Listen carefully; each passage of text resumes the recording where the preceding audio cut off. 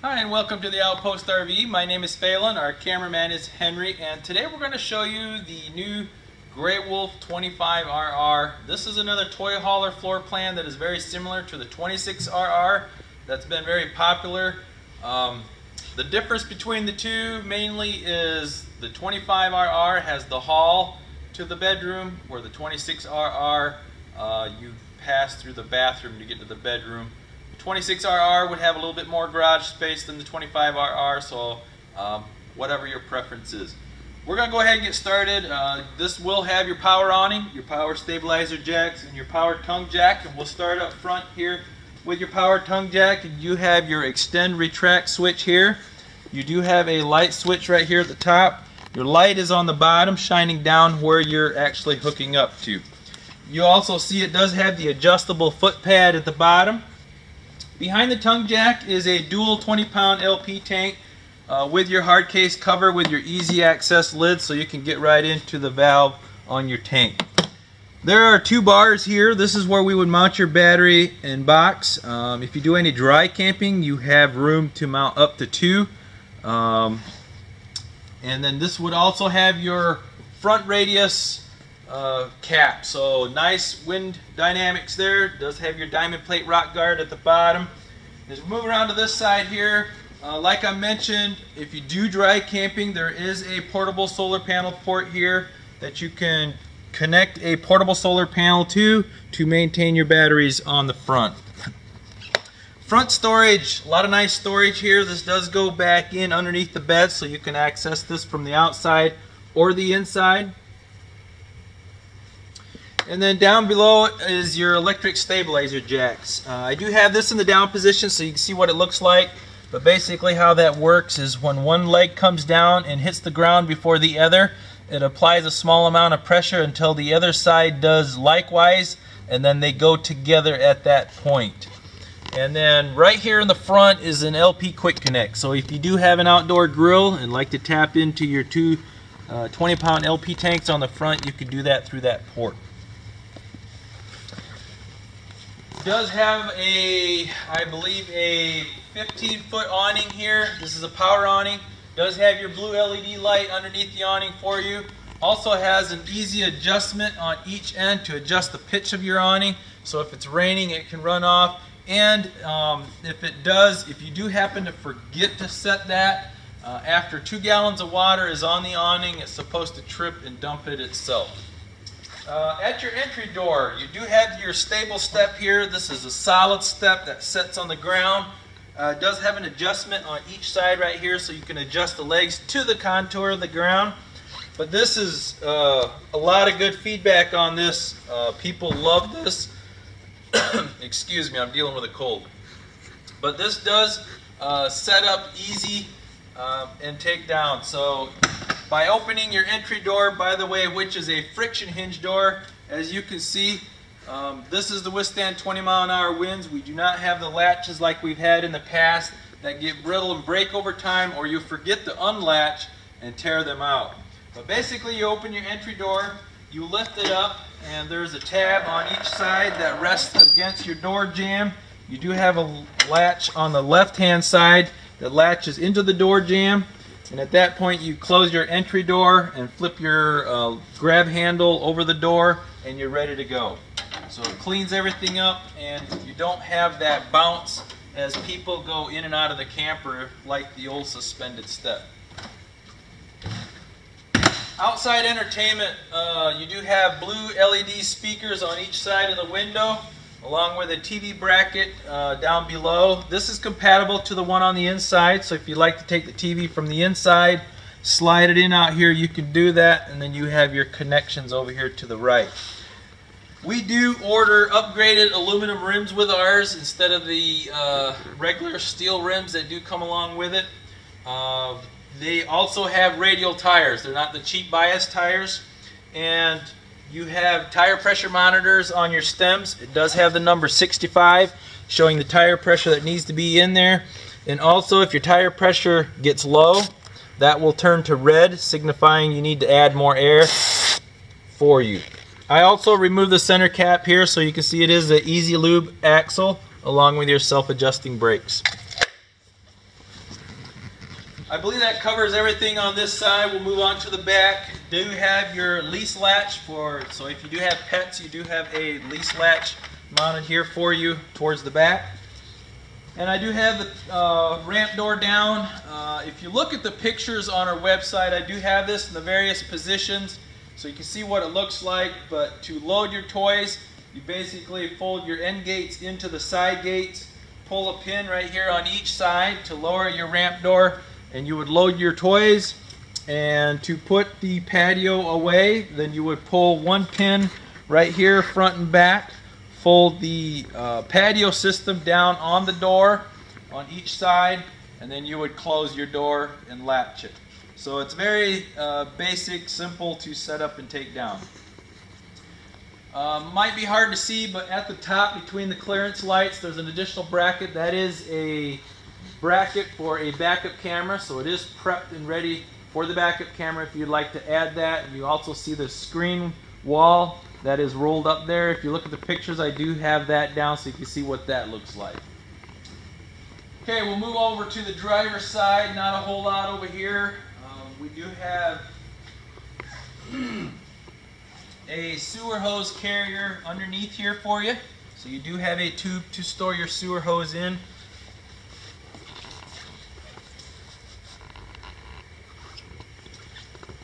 Then we have your 30 amp connection. This does come with a detachable cord, so it's not a cord that you're pulling out and pushing back in, taking away from storage on the inside.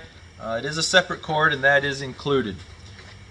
We also have a uh, scare light over on this side now by your hookup center, so if you're hooking up after dark, you can um, have turn on light for you.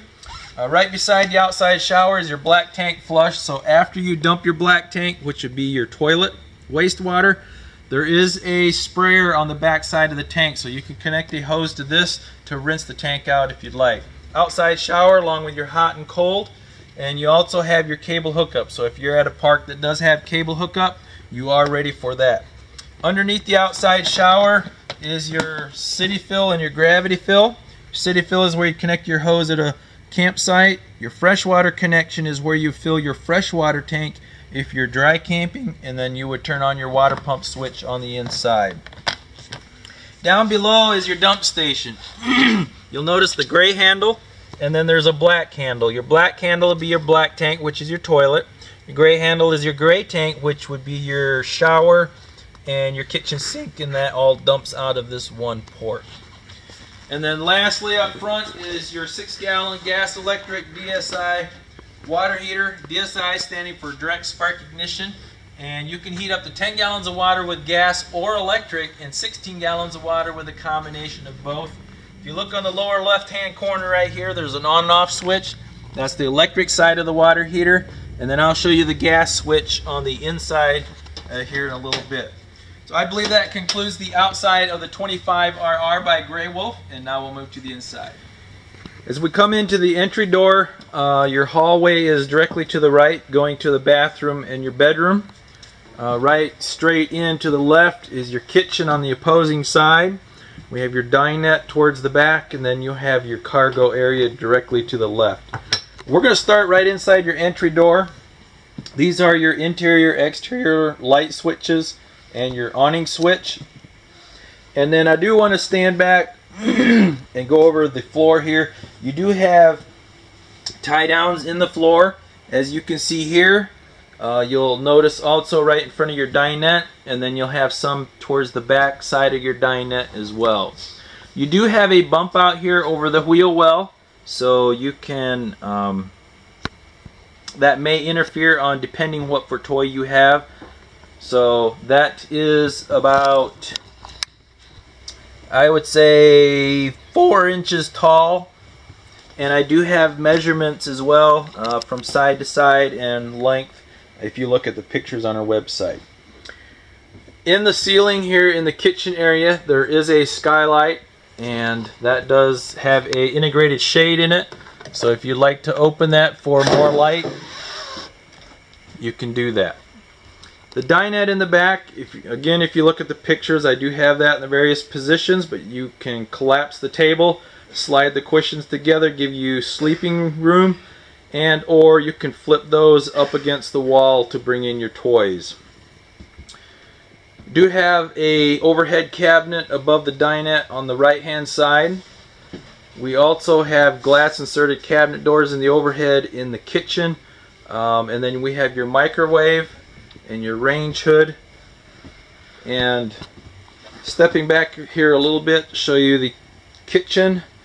You have a bank of two drawers, cabinet doors, your oven, your stove top, and your refrigerator. Behind the kitchen countertop is your monitor panel. This is where you check your black, gray, and freshwater tank levels, your battery level, and then, like I mentioned, on your gas side of the water heater, the gas switch would be on the left, and if you dry camp, turn on the water pump would be on the right. This does come with a flush mounted sink cover, uh, giving you more countertop space if you're not using your sink. That is a large stainless steel single bowl sink. It is the farmhouse style looking sink along with your high-rise uh, kitchen faucet there. You do have the oven and this does have a light on the right hand side. There is a blue LED light around each knob.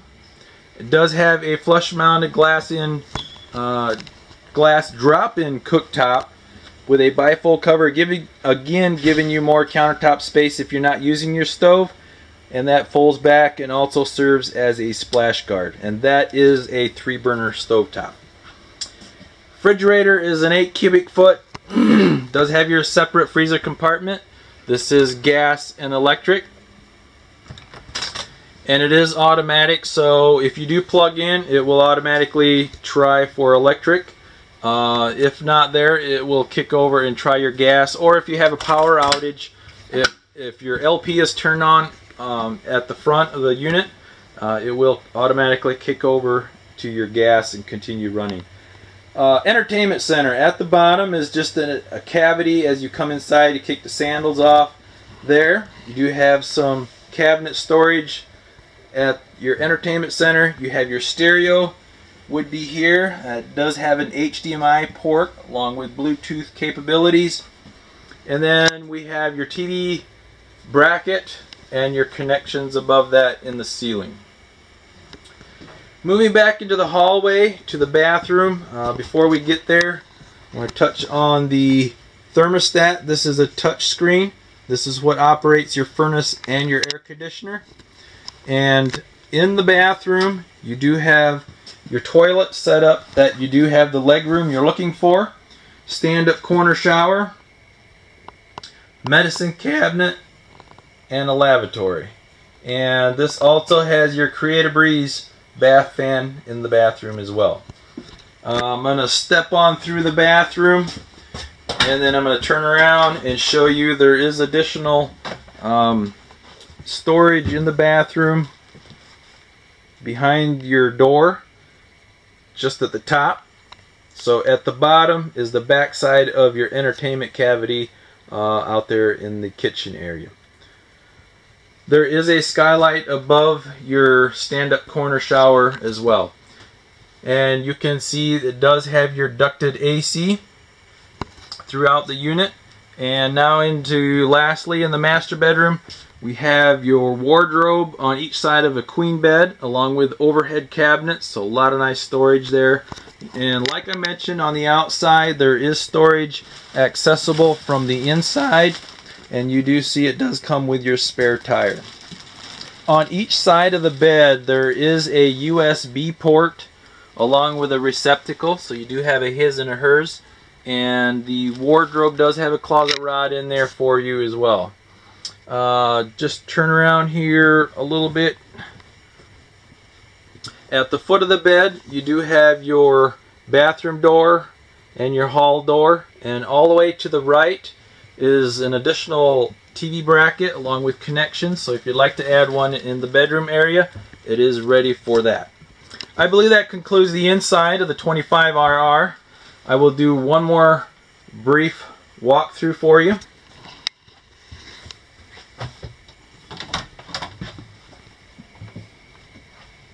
Again, we are the Outpost RV.